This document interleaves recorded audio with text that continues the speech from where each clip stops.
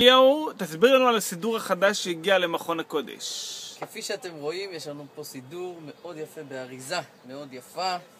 אפשרות לחתן, בר מצווה או אפשרות חתונה. לחתונה, סידור יפהפה של למען שמו באהבה. תוציא את הסידור אליהו. תראה אותו לציבור היקר, איך הוא נראה סידור ממש מבחוץ. אבזור מאוד יפה, סולידי ושקט. וואי, איזה אבנים. יפות, איזה יופי של סידור, מה זה מאור?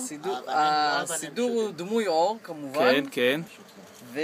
רגע, פה אפשר לרשום את השם גם כן, נכון יש אליהו? לנו אפשרות, כן, לרשום פה את השם בצורה איזה יפה, יופי. מזכרת מהאירוע אפילו, למזכרות, מי שמעוניין במזכרות. כן, אליהו. בטח, יש לנו אפשרות למזכרות, כל התפילות, לא כולל. תפילות שבת, תפילות הכל, תפילות כתב החגים. גדול, תראה, תראה אם זה כתב גדול. הכתב הוא יחסית גם מאוד גדול, וקריא, אפשר לקרוא אותו. או-הו, איזה יופי.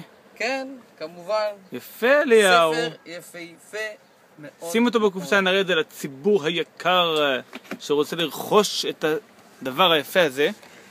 כן. לחתן, לחתונה, יש גם לכלות, אליהו? אה, יש אפשרות לעשות את זה גם לבת ישראל. לבת ישראל, כן, לכלות. ואפשר להציע את זה לכלות. לחתנים. לבת מצווה, אגב, גם לבת מצווה אה, אפשר לבת לעשות מצווה, את זה. נכון. בצבע ורוד, בצבע... רגע, אה, אפשר גם באיזה צבע? צבע ורוד, אפשר לקבל? יש את זה בצבע ורוד. אני, ורוד, מישהו סיפר לי איזה שהוא. לקח את זה לא מזמן, והוא כל כך נהנה מהמתנה היפה הזאת. איזה אז יופי. זה אצלנו במכון הקודש.